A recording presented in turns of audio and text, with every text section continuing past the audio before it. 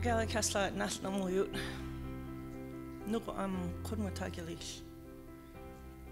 I thank you uh, for this opportunity to come and speak with you today, to share with you, and to uh, to be here. Um, I started off by saying, Agela kasla nasna muyut. In our language, um, every time we have a gathering with with our people, you'll always hear our speakers start off that way. And Namwayut is a really important word to us. Namwayut means we are, it's the equivalent of we're all one, all my relations, all, all of those terms that you hear. And I think in its translation, it loses its significance in the sense that when we use it in our in our ceremonies, in our traditions, it doesn't mean that we all agree. It doesn't mean that we all think the same way. What it means is that for those very sacred times and those sacred opportunities, when we come together, we must act as one for the betterment of all our people.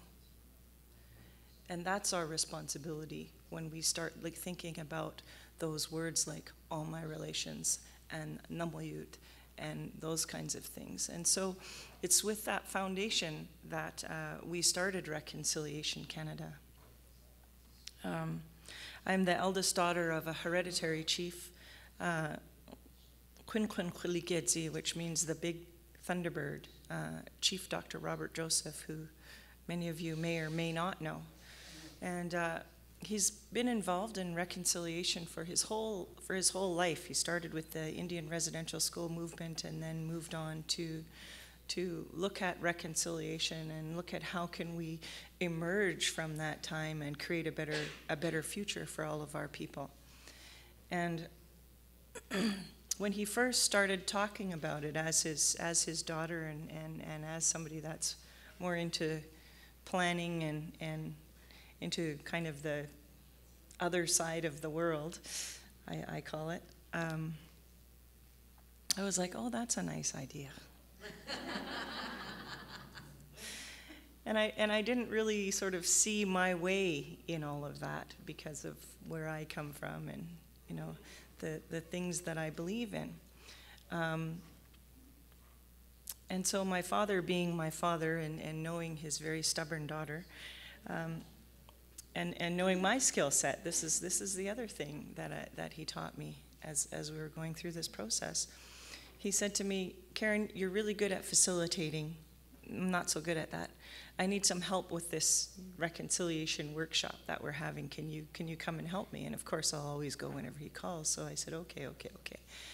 And during the course of those two days, I had this aha moment of what he actually meant by reconciliation.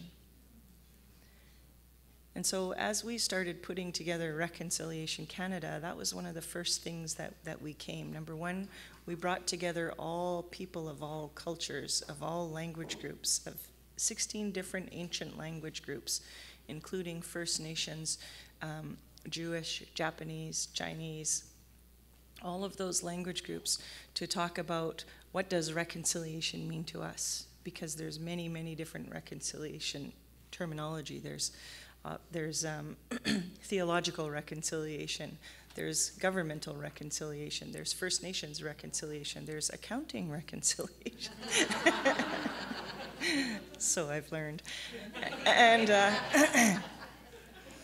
um, and so we wanted to be really, really clear about what reconciliation means to us, and it's founded in those beliefs of Namwayut, of all my relations, of, of we are all one under God.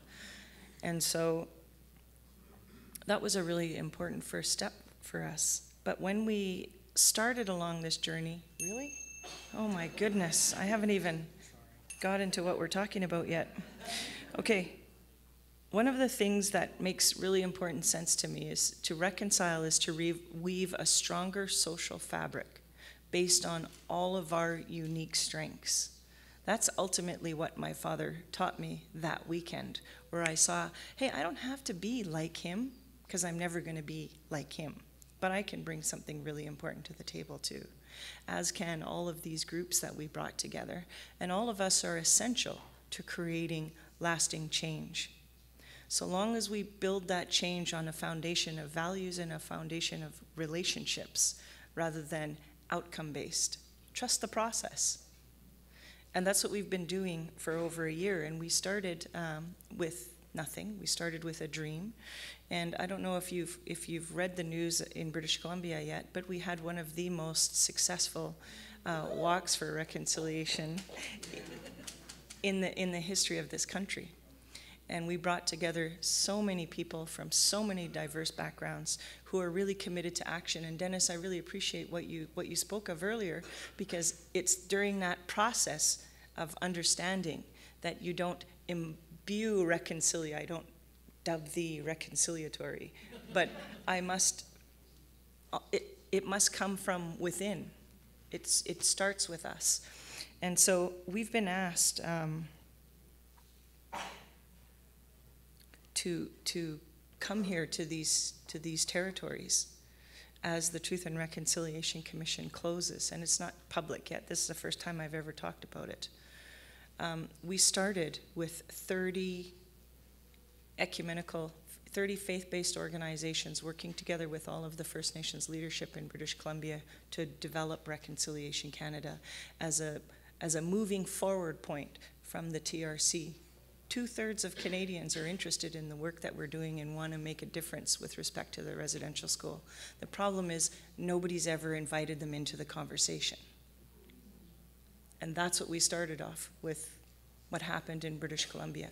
We finally opened our, our, arms and invited people into the conversation and said, come and bring your skills, come and bring your, your knowledge, come and bring your goodwill to this process. We had over 600 volunteers during the course of, of the year. We started with nothing and we ended up pulling off some of the most amazing things in this world based on those foundations of openness, dignity, understanding, and hope. So I hope that you come and speak with me if you have any questions. As I said, we've been invited. Uh, we haven't made any plans yet. Um, the TRC is closing in May of 2014, and we've been invited to come for, for June uh, to Ottawa, and through Ottawa, we're looking to invite Quebec and, and um, to move forward here. So, Aichka, Gela Kesla.